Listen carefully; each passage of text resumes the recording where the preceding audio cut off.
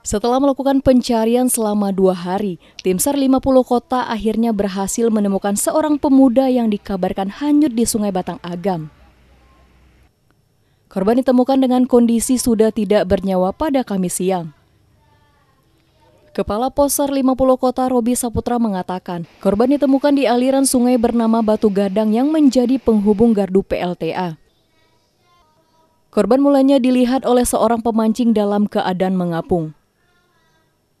Kejadian tersebut langsung dilaporkan dan jenazah langsung dievakuasi tim SAR gabungan ke Puskesmas Baso guna pemeriksaan. Korban diketahui bernama Ilyas Ishak berumur 24 tahun yang merupakan warga Jorong Titi Nagari Padang Tarok Kecamatan Baso Kabupaten Agam.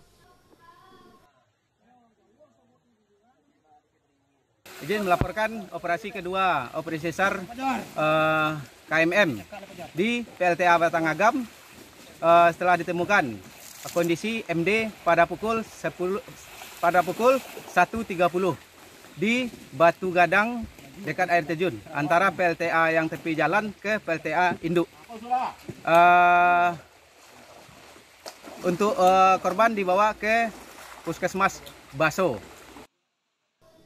Korban awalnya dilaporkan hanyut di Sungai Batang Agam Jorong Titi Nagari Padang Tarok Kecamatan Baso Kabupaten Agam pada Selasa sore.